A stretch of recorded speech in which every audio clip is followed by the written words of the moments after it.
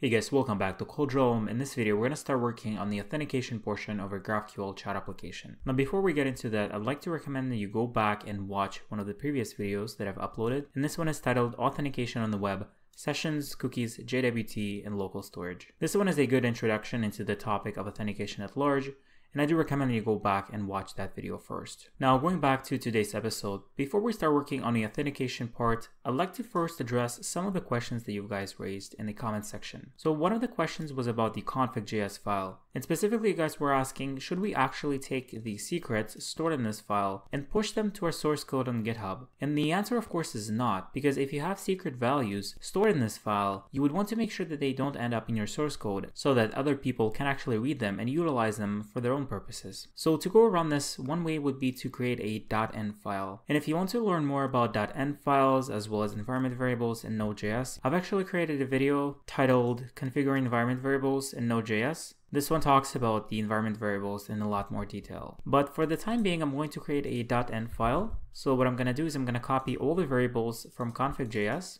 Let me select all of them. And once we do, I'm going to go ahead and copy them to .env.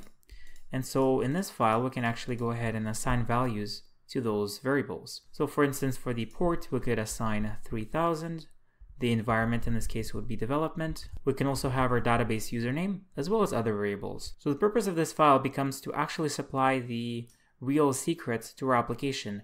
So instead of putting the actual password to your database inside of the config.js file, you would put it inside of the .env file. And you would also want to make sure to go to gitignore and also add the .env file inside of it. So this way the .env file will be ignored by Git. This way you won't be able to accidentally commit it to your source code. So once you fill out all the variables in your .env file, what you could do to load them is you could install a .env library or package, or you could simply go to your package.json and you can go ahead and add an eval command. So we're going to do eval on the .env file. And so what this is going to do is it's going to read all of the values from the .env file and it's going to pass them to the nodemon command. This way all of the variables stored in this environment file will be loaded to your application at runtime. Now the next question would be, do we actually need to provide the defaults in this case? And the answer is no, because assuming that you pass all of the variables from the .env file, the defaults in this case should not be necessary anymore. But it's a good practice to keep them as a fallback, so I'm gonna keep them in this case. And once again, if this eval syntax is confusing to you, make sure to go back and watch the environment variables video. Now the next question was about validation in our application. So if we go to schemas user.js,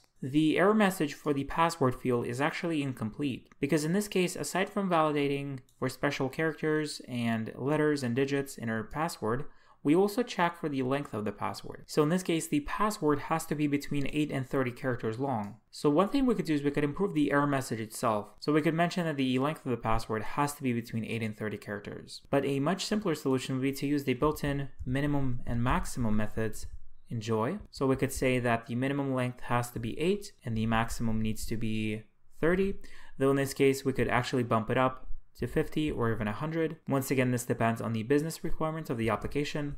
I'm going to keep them at 50 for now, though of course most people probably wouldn't go beyond 15 or even 10 characters long. So let's leave it at 50. Now for the regex itself, we could either update it to 850 or what we can do is we can also remove the last portion of the regex and we can even simplify it by removing the condition for special characters.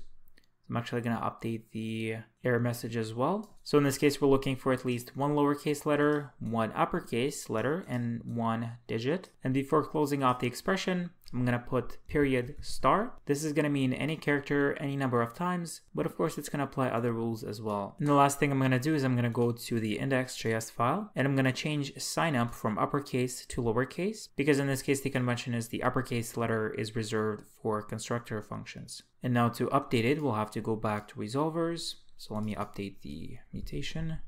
So the sign up is going to be lowercase like this so we can save it. And now we can actually work on the authentication portion itself. So let's go back to the browser. What I'm going to be using for authentication is the Express session package. This package is once again used as a session middleware for Express. Let's go back to the terminal. I'll do yarn add dev on that package. And once again, if you're new to it, feel free to go back to my channel. The last video that I've uploaded before this one is titled Session Authentication Express, and it actually walks you through the different configuration options in this package and it explains how to set it up in a lot more detail. But assuming you have a basic familiarity with this package, we're gonna go back to our project and we're gonna go ahead and go to the index.js file. We'll go ahead and import session from Express session. So once we create an instance of Express, we're gonna do an app use of session.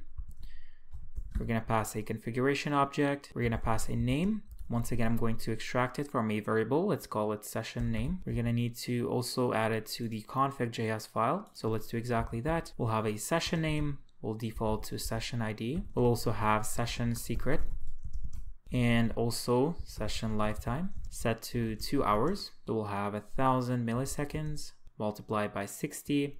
This will give us 60 seconds, 60 minutes, or one hour multiplied by two. This is going to give us two hours. So we can save that. Now we can actually import these variables as well. So let's go ahead and add them in our import statement. So we already have a session name. We're also going to pass a secret set to session secret.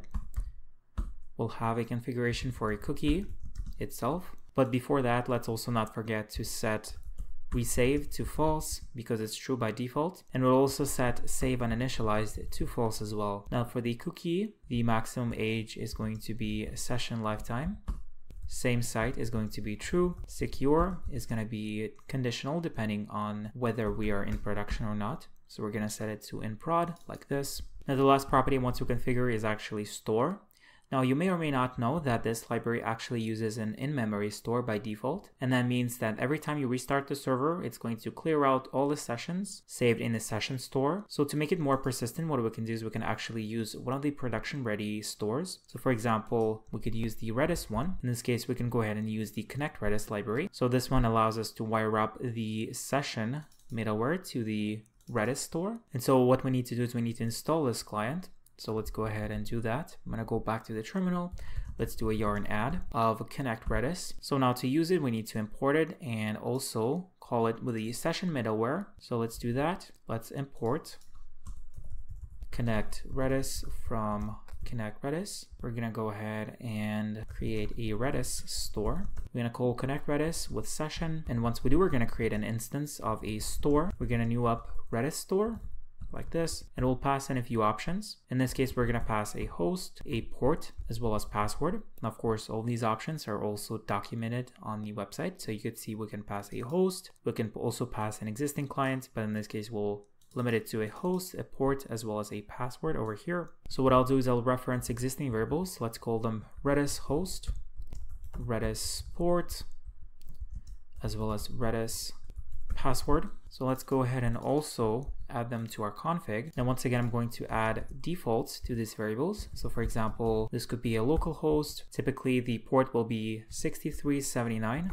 and the password could be secret. Now, of course, these values will vary depending on the environment. So you would need to copy these values and also paste them to your .env file and make sure you initialize them with the actual secrets so you could connect to your Redis store. Now in this case, what we can do is we can either install Redis locally, we could also set up a Docker container. Alternatively, we could also use Redis as a service. So for example, you could go to redislabs.com. Now here you can create a free account. And once you do, you can go ahead and create a database, of course, for free. If you go to the configuration section, you're going to find out the address to the server with the actual port as well as the password that you can use. So I already have an existing database. So I'm going to use this one for the tutorial. And of course, once you have the credentials, make sure to put them to your .env file. Don't put them to the config.js file because the config is really just a fallback for your secrets. But once again, the actual secrets would go to the .env file. So once you do, we can go ahead and back in our index.js file, we can once again copy these variables and also put them over here. So once we set up a store, we can actually pass it to our session middleware.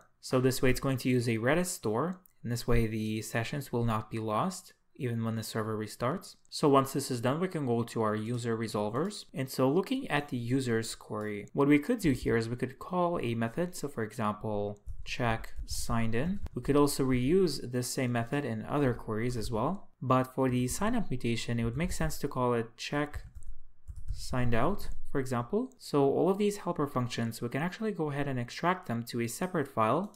So let's create a file called auth.js. We can go ahead and create a constant. This will be a function to check if the user is signed in. Now, in this case, we have access to the context. And from that context, we need to get access to the request object. So if we could do context dot request, this is going to give us access to the session. And once we have access to the session, we can read any variables stored in that session. So for example, we could access the user ID that we're going to put in later on. So now to enable the access to the request object, we can go back to our index.js file and then we're going to pass in a property to our Apollo server to configure a context. This will be a function. It's going to accept a context object. What we can do is we can extract the request and response objects out of it and we can return them in a separate object like this. So once we do that, we should be able to go back to our users query and now we'll have access to the request object in the context. So now once we have the request object, we can access the session on it.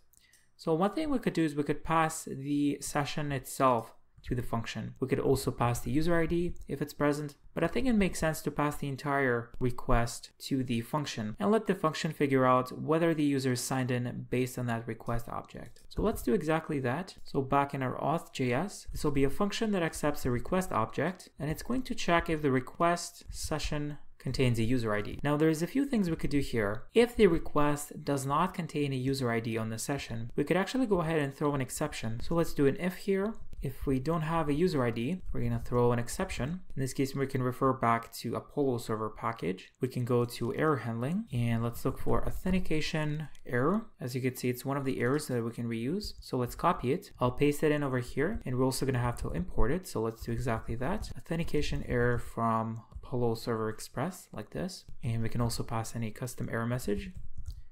You must be signed in. Now this function, of course, we can export from this file. And so back in our resolvers, we could either import the function alone from auth, one level up, or we could also import everything from that file because we're also going to have other functions like check signed out, for example.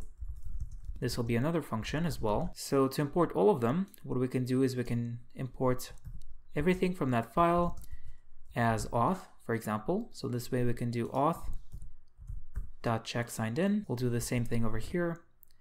And now in there, we're going to do auth check signed out.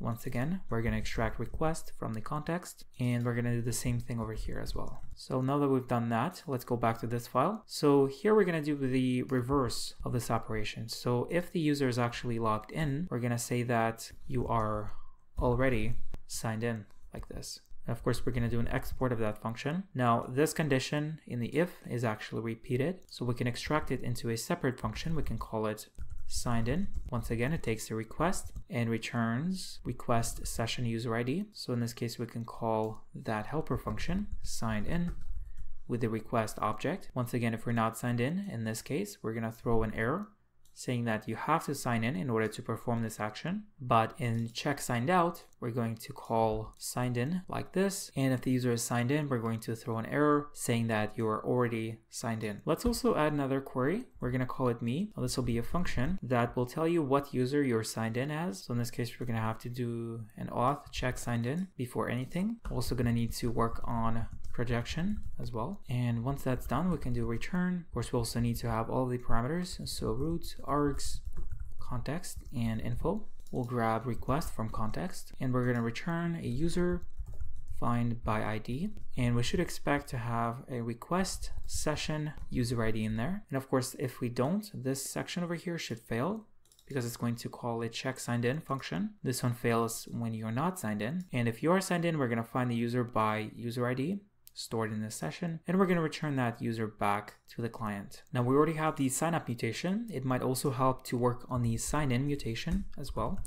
So let's do a sign in function. Once again, we'll have a root, args, context, and info. Let's get the user ID from request session. Once again, we'll extract session from context like this. Next, we could put the check signed out condition. So in this case, if the user is already signed in, it doesn't make sense to call that mutation once again. In fact, what I'm actually going to do is I'm going to put a condition. So if the user is signed in, we're going to simply return back that user. So we'll do a user find by ID and we already have the user ID. So instead of throwing an error, we're just going to return back the user. And this is similar to the sign up mutation where we create the user and return it back to the client once it's created. So in fact, by the end of this sign in mutation, we're also going to return back a user.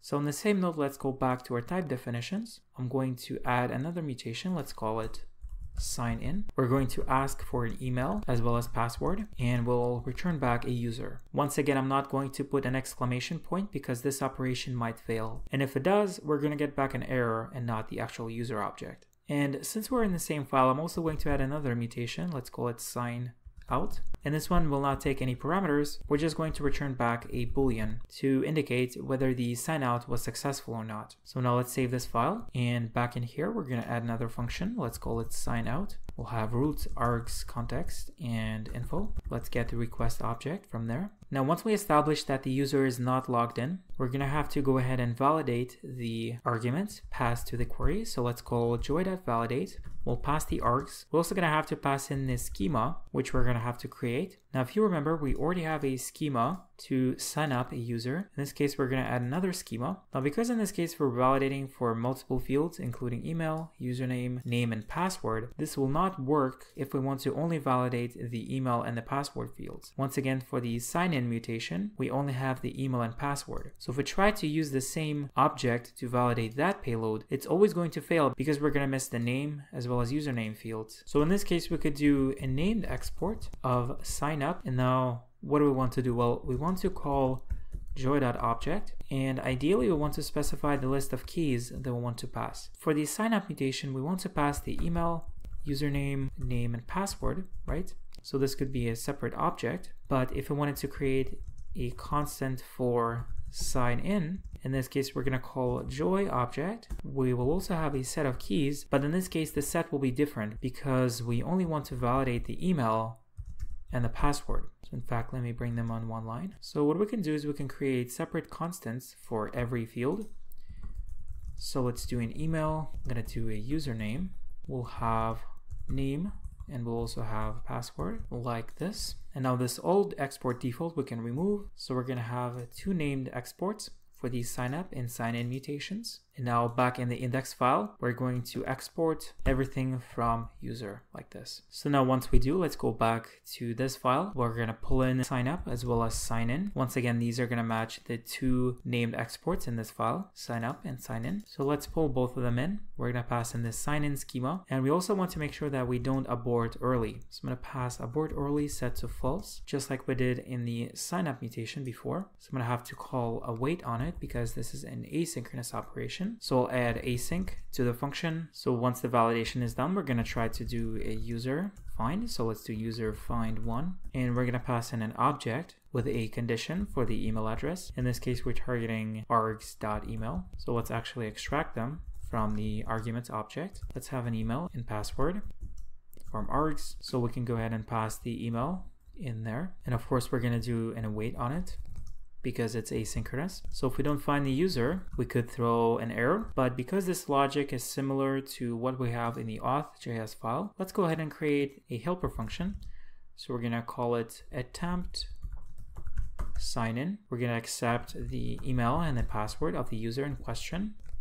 So this will be a function. Let's go ahead and remove this logic from here. So now once we export it, we can go ahead and call auth.attempt sign in with the email and password. In this case, I'll just reference them directly. And now we're going to expect to get a user object by the end of this operation.